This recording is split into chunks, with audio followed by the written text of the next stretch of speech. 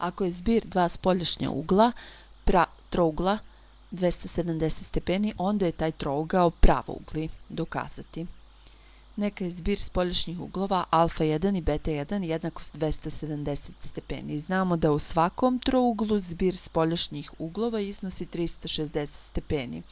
A pošto je zbir alfa 1 i beta 1 270, dobijamo da je gama 1 360 minus 270, odnosno 90.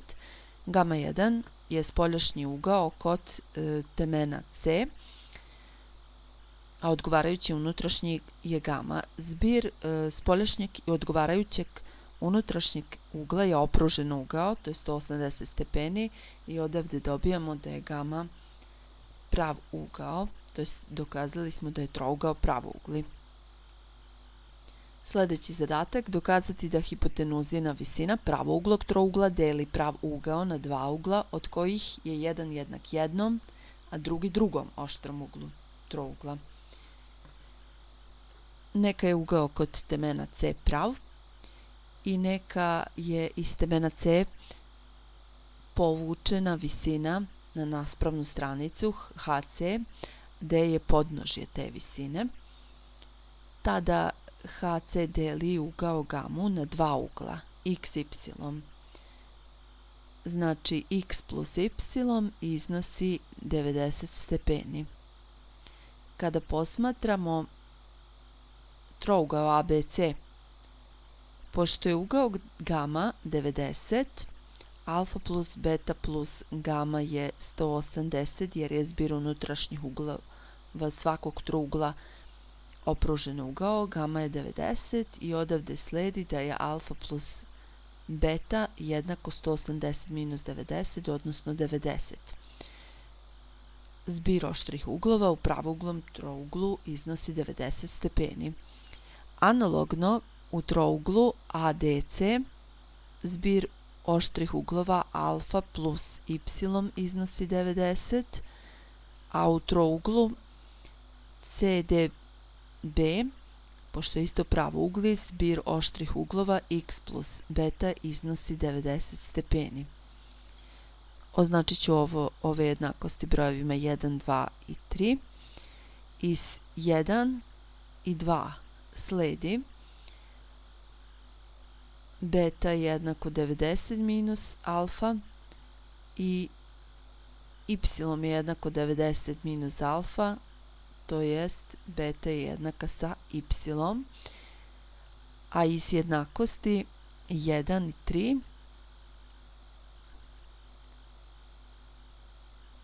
sledi da ovako beta je jednako 90 minus alfa i beta je jednako 90 minus x odavde sledi alfa jednako x. Sljedeći zadatak. Unutrašnji uglovi trougla se odnose kao 3 naprema 2 naprema 7. Alfa naprema beta naprema gama je 3 naprema 2 naprema 7. Izračunati ih. Znamo da je zbir unutrašnjih uglova trougla 180 stepeni. Iz ovog odnosa možemo izračunati napisati da je alfa 3 puta neki koeficijent k, beta 2k i gama 7k. Kada to uvrstimo u jednačinu za zbir unutrašnjih uglova, dobit ćemo k.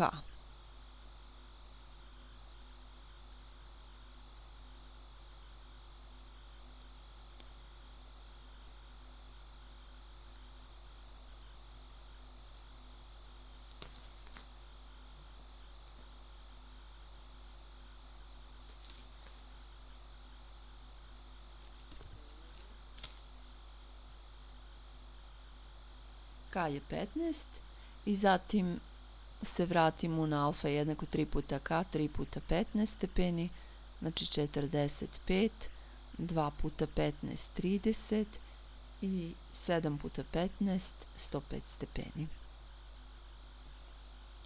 Sljedeći zadatak, izračunati spolješnje uglove trougla, ako se odne odnose kao 3 naprema 5 naprema 7,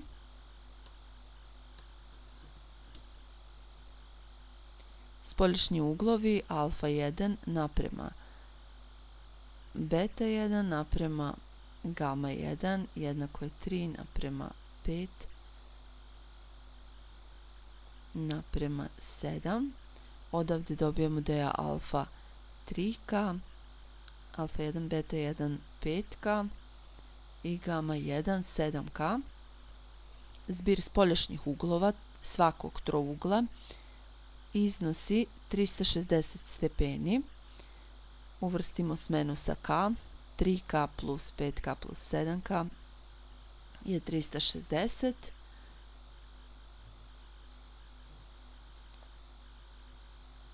Petnaest k je 360, odnosno k je 24. Kada se vratimo alfa 1, 3 puta k, 3 puta 24, odnosno 72 stepena. Beta je 5 puta 24, to je 120 stepeni. A gama 7 puta 24, 168 stepeni. Još jedan zadatak. Dokazati da je svaka tro, stranica trougla manja od polu objema trougla. Mi znamo da za svaku stranicu važi da je manja od zbira druge dve, a veća od njihove razlike. Nama je potreban samo ovaj deo te nejednakosti koja važi za stranice, a to je da je stranica manja od zbira. Ako bi ovoj nejednakosti obema stranama dodali a, sa leve strane bi dobili 2 puta a manje od a plus b plus c, a ovo je obim. Kada sve podelimo sa 2, dobijemo a je jednako, to jest manje od poluobima. Analogno se dokazuje za preostale dve stranice.